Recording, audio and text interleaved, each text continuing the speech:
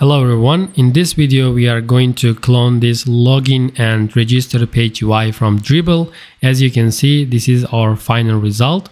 So this will be the login page and you can see here you can enter the email and password and if you are not a member you can click on register now and here you can register.